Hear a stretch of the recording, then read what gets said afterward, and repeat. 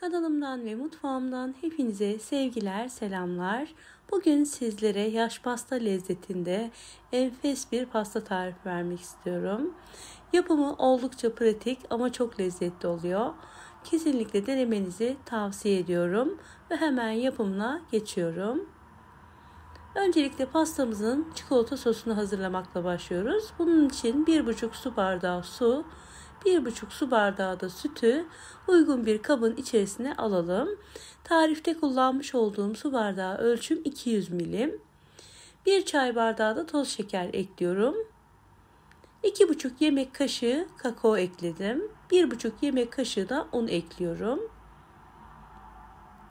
Ocağın üzerine almadan önce bir çırpıcı ile güzelce karıştıralım. İçinde topak kalmasın. Sonrasında ocağın üzerine alarak e, hiç bırakmadan e, karıştırarak bu çikolata sosunu pişireceğiz.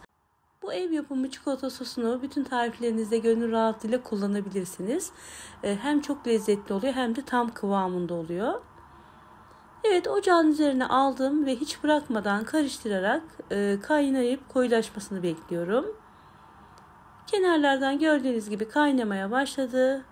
Bir dakika daha kaynatıp ocağın altını artık kapatacağım.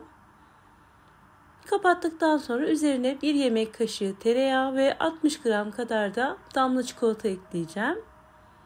Dilerseniz sütlü çikolata da ekleyebilirsiniz. Ben evde damla çikolata olduğu için e, damla çikolata ekledim. Sizler dilediğiniz çikolatayı kullanabilirsiniz.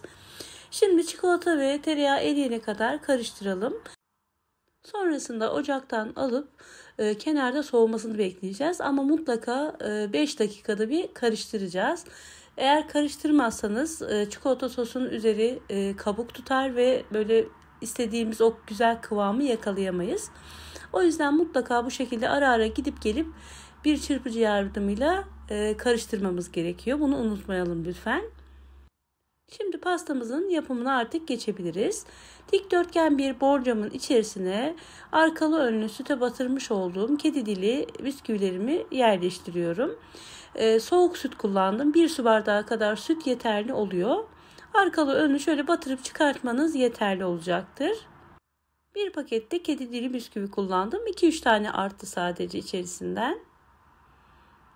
Evet bu şekilde e, bütün bisküvilerimizi borcama yerleştirelim. Kullanmış olduğum borcam en büyük dikdörtgen borcamlardan. Bisküvilerimi de yerleştirdikten sonra bunu bir kenara alıyorum ve üzerinin muhallebisini hazırlamaya geçiyorum. Bunun için 1 litre sütümüzü uygun bir tencerenin içerisine alalım.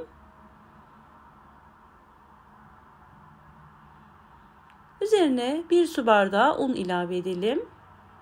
1 yemek kaşığı da nişasta ekliyorum. Mısır nişastası kullandım. Buğday nişastası da kullanabilirsiniz. 1 su bardağı da toz şeker ekledim ve bir çırpıcı yardımıyla ocağın üzerine almadan güzelce karıştıralım. İçinde hiç topak kalmasın. Sonrasında ocağın üzerine alarak sürekli karıştırarak bu muhallebiyi pişireceğiz. Karıştırmayı kesinlikle bırakmıyoruz. Aksi takdirde hem içinde topaklanmalar oluşabilir hem de dibine tutabilir. O yüzden hiç başından ayrılmadan muhallebimizi karıştırarak pişirelim. Muhallebimiz koyulaştı, göz göz olmaya başladı. 1-2 dakika daha kaynattıktan sonra ocağın altını kapattım ve üzerine 1 yemek kaşığı tereyağı ekliyorum. 1 pakette vanilin ekledim. Ve tekrar çırpıcıyla karıştırarak bu ikilinin homojen bir şekilde muhallebime karışmasını sağlıyorum. Bu kremayı her türlü süt tatlıda kullanabilirsiniz. E, lezzeti ve kıvamı inanılmaz güzel oluyor. Evet bu şekilde karıştırarak tamamen erittim ve artık e, kedi dili bisküvilerimin üzerine bu kremamı dökebilirim. Mutlaka sıcak sıcak dökelim hiç beklemeden. Evet üzerine eşit bir şekilde döküp e, kremamı yayacağım ve e, oda sıcaklığında şöyle yarım saat kadar bekleteceğim. Sonrasında e, üzerine sosunu dökeceğiz.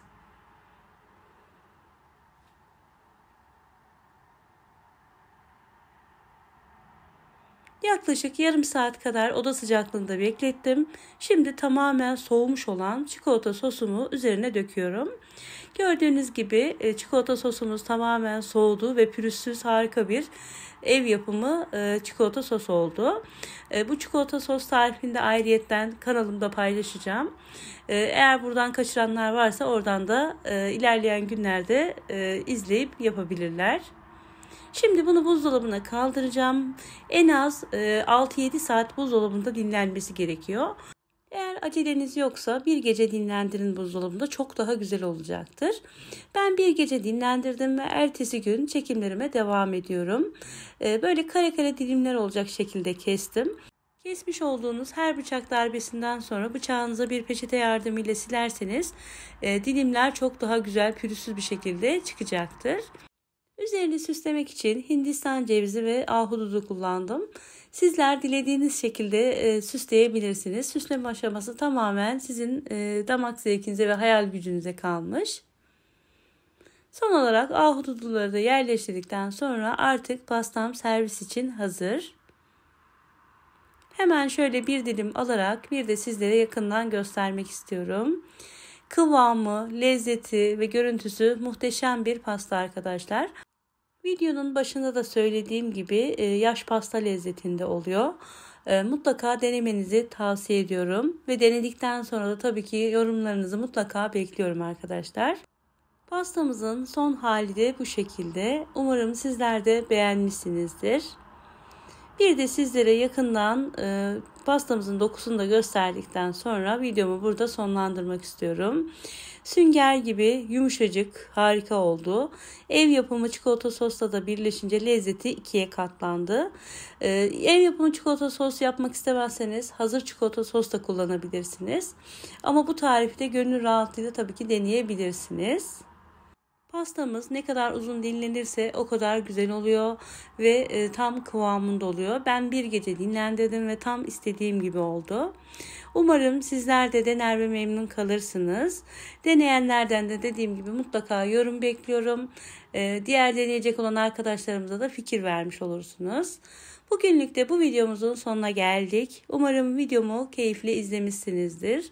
Bana destek olmak için videomu beğenmeyi, yorum bırakmayı ve arkadaşlarınızla paylaşmayı unutmayın lütfen.